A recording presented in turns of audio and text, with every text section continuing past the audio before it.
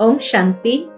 आज 16 मार्च 2022 के बाबा के अनमोल मधुर महावाक्य सुनेंगे। आज की मुरली में बाबा ने एक बहुत सूक्ष्म कर्म की गुह्य गति बताई है। बाबा कहे, कभी भी किसी को भी जब दुख की प्राप्ति होती है तो यही कहते हैं, ये कर्म की कोई न कोई रूप से सजा है या भोगना है। परंतु इस सजा या भोगना से मुक्त होने की विधि बाबा ने बताई है दो बातें। पहली बात बाबा ने कहा, प्यार से यज्ञ सेवा करो, क्योंकि जितना प्यार से यज्ञ सेवा करते हैं, उतना हमारा पुण्य जमा होता है और उसी पुण्य के माध्यम से उस कर्म को हम सहजता से काट सकते साथ साथ बाबा ने कहा, दूसरी बात बाबा को प्यार से याद करो। ये दो ही बातें हैं जिसके आधार से हम अनेक प्रकार के दुखों से सहज छूट सकते हैं। इतना ही नहीं, लेकिन मन इच्छित फल भी प्राप्त कर सकते हैं। सुनते हैं बाबा के मधुर महावाक्य, ओम शांति, मीठे बच्चे, तुम ब्राह्मण हो यज्ञ रक्षक यह यज्ञ ही तुम्हें मन इच्छित फल देने वाला है। प्रश्न है आज की मुरली से, किन दो बातों के आधार से 21 जन्मों के लिए सब दुखों से छूट सकते हैं? बाबा कहे, किन दो बातों के आधार से 21 जन्म के लिए सब दुखों से छूट सकते हैं? उत्तर है, प्यार से यज्ञ की सेवा करो और बाप को याद करो। तो 21 जन्म कभी दुखी नहीं होंगे, दुख के आँसू नहीं बहाएँगे। तुम बच्चों को बाप की श्रीमत है, बच्चे बाप के सिवाय कोई भी मित्र संबंधी दोस्त आदि को याद न करो। बंधन मुक्त बन, प्यार से यज्ञ की संभाल करो तो मन इच्छित फल मिलेगा। आज की मुरली में गीत बजा है, बचपन के दिन भुला न देना, आज हंसे कल रुला न देना। ओम शांति।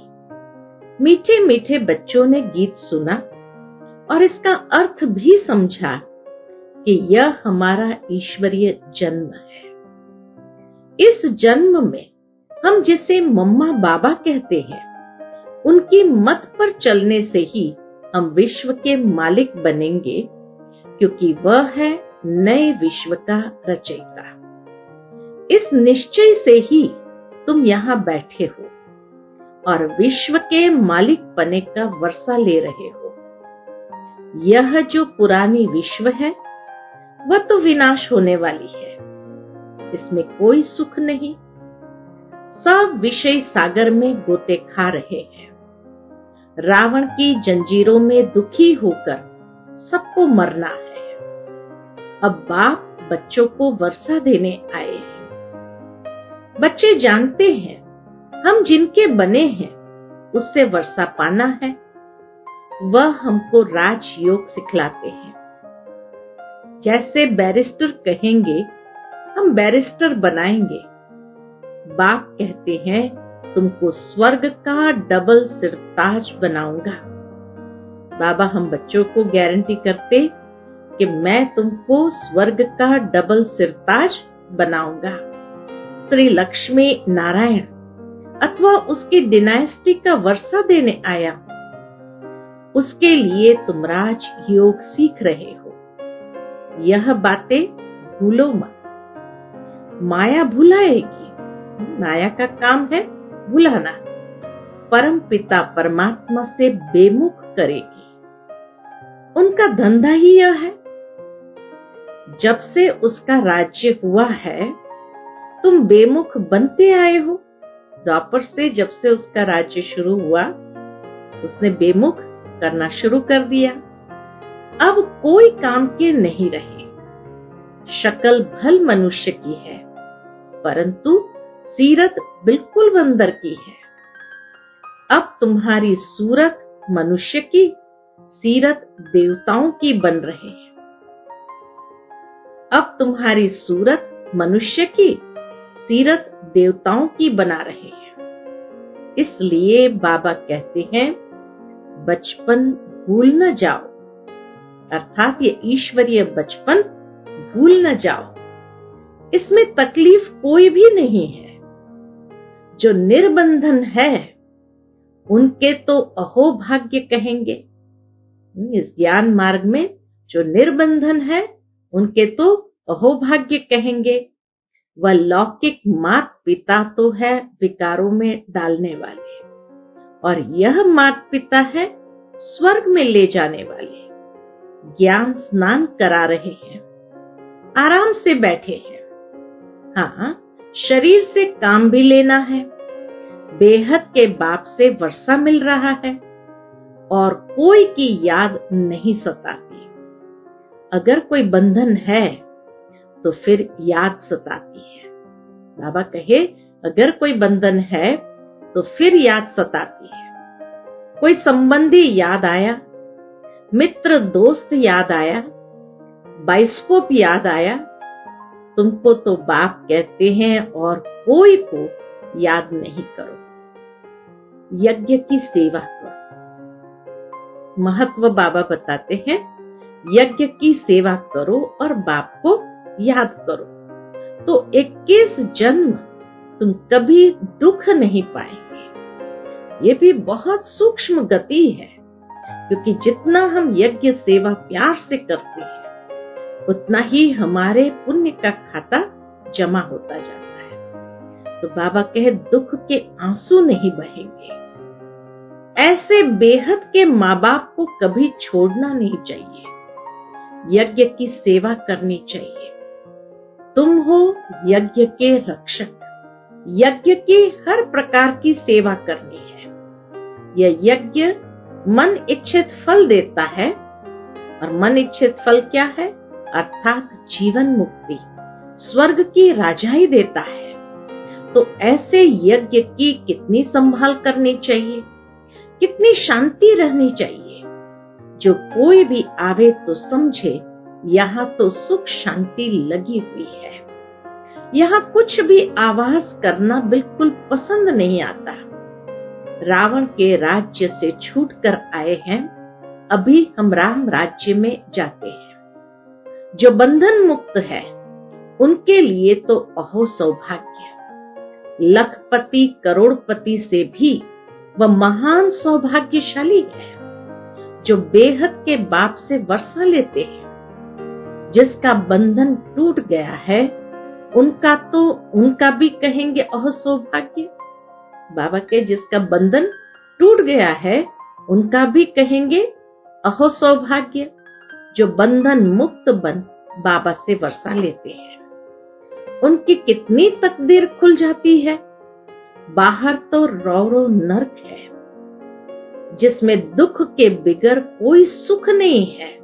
अब बाप कहते हैं, और सब चिंताओं को छोड़, यज्ञ की सर्विस प्यार से करो, धारणा करो पहले पहले अपना जीवन हीरे जैसा बनाना है।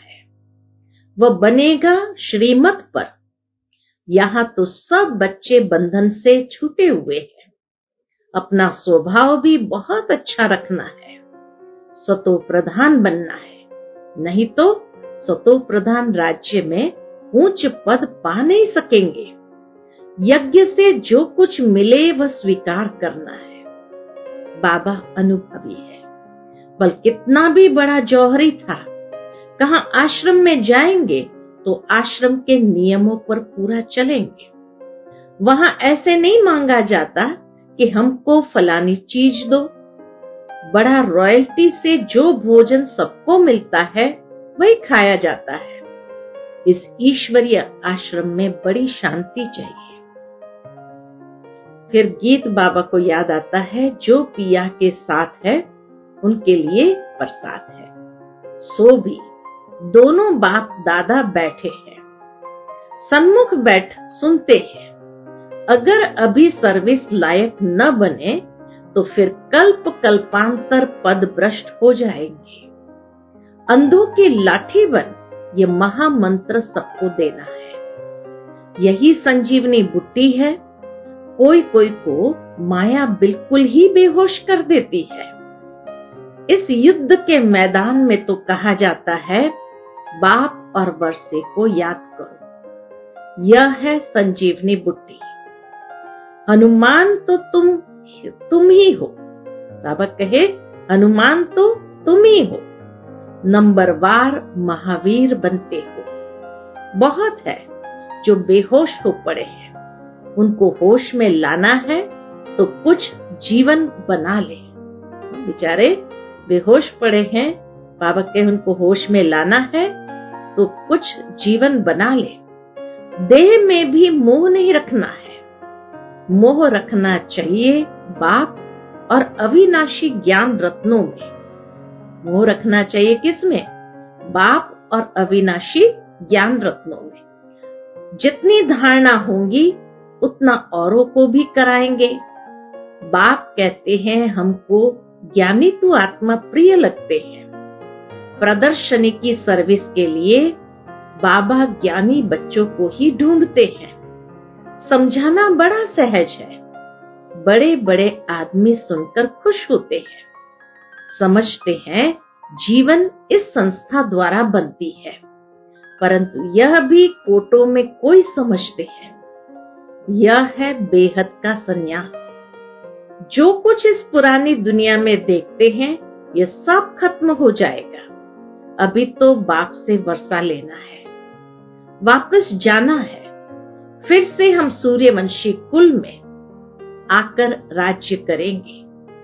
राज्य किया था, फिर माया ने छीन लिया। कितनी सहज बात है। मीठे मीठे बाप को याद करना है। दिल बाप के पास लगी हुई हो, बाकी कर्मेंद्रिय से कर्म तो करना है। श्रीमत पर चलना है। लाडले, मीठे मीठे बच्चे, बाप कहते हैं, मुख से सदैव ज्ञान रत्न निकालो, पत्थर नहीं निकालो, कोई भी संसार समाचार की बातें नहीं निकालो, नहीं तो मुख कड़वा हो जाएगा। कितना प्यार से बाबा कहते, कोई भी संसार समाचार की बातें नहीं निकालो, नहीं तो मुख कड़वा हो जाएगा। एक दो को रत्न देते रहो, तुम्हारे पास रत्नों की झोली है। विनाशी धन दान करते हैं। भारत को महादानी कहा जाता है। इस समय बाप बच्चों को दान करते हैं। बच्चे बाप को दान करते हैं। बाबा हम बच्चों को रत्न देते हैं और हम बाबा को कौड़ियाँ देते हैं। तो इस समय बाप बच्चों को दान करते हैं। बच्चे बाप को दान करते हैं। बाबा शरीर सहित ये सब कुछ आपका है। ये दान बच्चे करते हैं। क्या कहते? बाबा शरीर सहित ये सब कुछ आपका है। बाप फिर कहते हैं, ये विश्व की बादशाही तुम्हारी है। इस पुरानी दुनिया का सब कुछ खत्म होना है। क्यों न हम बाबा से सौदा कर ले? बाबा ये सब कुछ आपका है। भविष्य में हमको राजाई देना। हम यही चाहते हैं। कोई और चीज़ की हमको दरकार नहीं। ऐसे कोई न समझे। हम्म, बाबा कहे ऐसे कोई न समझे कि हम तन मन धन देते हैं। तो हम कोई भूख मरेंगे। ये लोग सोचते ना सब कुछ दे देंगे तो फिर हमारा क्या होगा?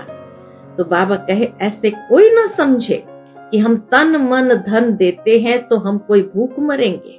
नहीं यह शिव बाबा का भंडारा है, जिससे सबका शरीर निर्वाह होता रहता है और होता रहेगा। द्रौपदी का मिसाल अब प्रैक्टिकल में पाठ चल रहा है।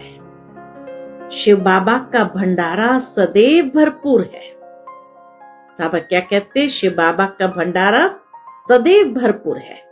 यह भी एक परीक्षा थी, जिनको डर लगा।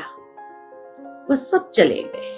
बेगरी पाठ जब यज्ञ में आया तो बाबा कहे, यह भी एक परीक्षा थी बच्चों के लिए।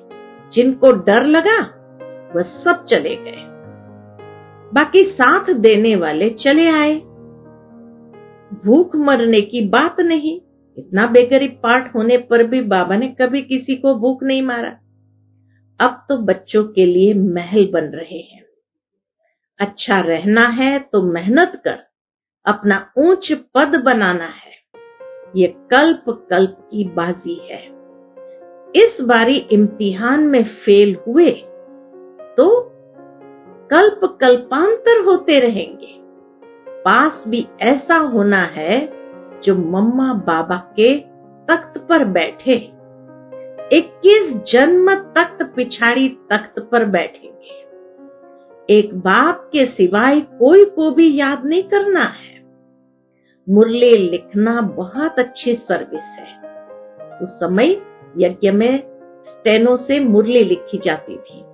तो बाबा कहे, मुरली लिखना बहुत अच्छी सर्विस है। सभी खुश होंगे, आशीर्वाद करेंगे। बाबा अक्षर बहुत अच्छे हैं। नहीं तो लिखते हैं, अक्षर अच्छे नहीं। बाबा हमको वाणी कट करके भेज देते हैं। हमारे रत्नों की चोरी हो जाती है। बाबा हम अधिकारी है, जो आपके मुख से रतन निकलते हैं। वह सब हमारे पास आने चाहिए। ये बच्चों की डिमांड होती है। यह कहेंगे भी वही कौन जो अनन्य होंगे। जिनकी बुद्धि में अन्य कोई नहीं, सिर्फ़ एक।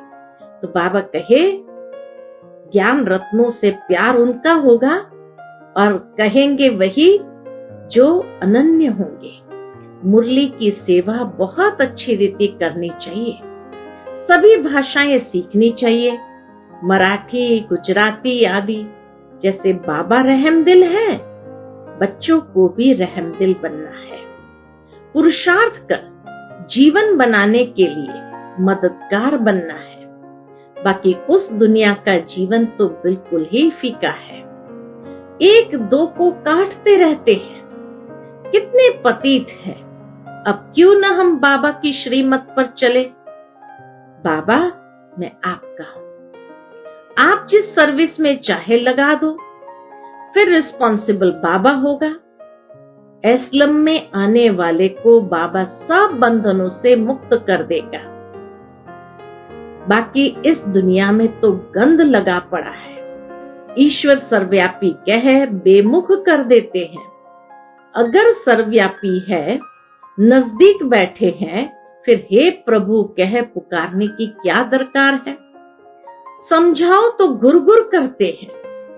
अरे भगवान खुद कहते हैं मैंने तो कभी ऐसे कहा नहीं कि मैं सर्वव्यापी हूँ। यह तो भक्ति मार्ग वालों ने लिख दिया है। हम भी खुद पढ़ते थे हम्म, ब्रह्मा बाबा के हम भी खुद पढ़ते थे परंतु उस समय ऐसे नहीं समझते थे कि यह कोई ग्लानी है। भक्तों को कुछ भी मालूम नहीं पड़ता है। जो कुछ कहो, वह सत्य मान लेते हैं। बाबा कितना अच्छी रीति समझाते हैं। फिर बाहर जाकर हंगामा करते हैं। तो फिर वहाँ चलकर दास दासियाँ नौकर चाकर बनेंगे। बाबा ने कह दिया है, पिछाड़ी का जब समय होगा, उस समय तुमको पूरा पता पड़ेगा। साक्षात्कार करते रहेंगे। और बताते रहेंगे कि फलाने फलाने यह बनेंगे। फिर उस समय सिर नीचे करना पड़ेगा। फिर वह खुशी नहीं रहेगी जो राजाई वालों को रहेगी। दिल अंदर जैसे कांटा लगता रहेगा। ये क्या हुआ? परंतु टू लेट। बहुत पछताएँगे। होगा तो कुछ भी नहीं। बाप कहेंगे, तुमको इतना समझाते थे फिर भी तुम यह करते थे। अब अपना हाल देखो। कल्प कल्पांतर पछताएँगे। सजनियों को नंबर वार ले जाएँगे ना। नंबर वन से लास्ट तक समझेंगे। पढ़ाई अच्छी नहीं पढ़ी तो लास्ट में बैठे हैं। इम्तिहान के दिनों में मालूम पड़ जाता है कि हम कितने मार्क से पास होंगे। तुम समझेंगे कि हम क्या पद पाएँगे। सर्विस नहीं करेंगे तो धूल मिलेगा। पढ़ाई और सर्विस पर ध्यान देना है। मीठे ते मीठा बाबा के बच्चे हो तो बहुत मीठा बनना है। शिव बाबा कितना मीठा, कितना प्यारा है। हमको फिर से ऐसा बनाते हैं। कितनी बड़ी यूनिवर्सिटी है। अच्छा मीठे मीठे सिकिलते बच्चों प्रति माता पिता बाप दादा का याद प्यार और गुड मॉर्निंग। रूहानी बाप की रूहानी बच्चों को नमस्ते। हम सब रूहानी बच्चों की रूहानी माता पिता बाप दादा को याद प्यार, गुड मॉर्निंग और नमस्ते। नमस्ते, शुक्रिया बाबा, शुक्रिया। आज की मुरली से धारणा के लिए मुख्य सार है। पहली पॉइंट देह सहित सबसे मोह निकाल। बाप और अविनाशी ज्ञान रत्नों से मोह रखना है। ज्ञान रत्न दान करते रहना है।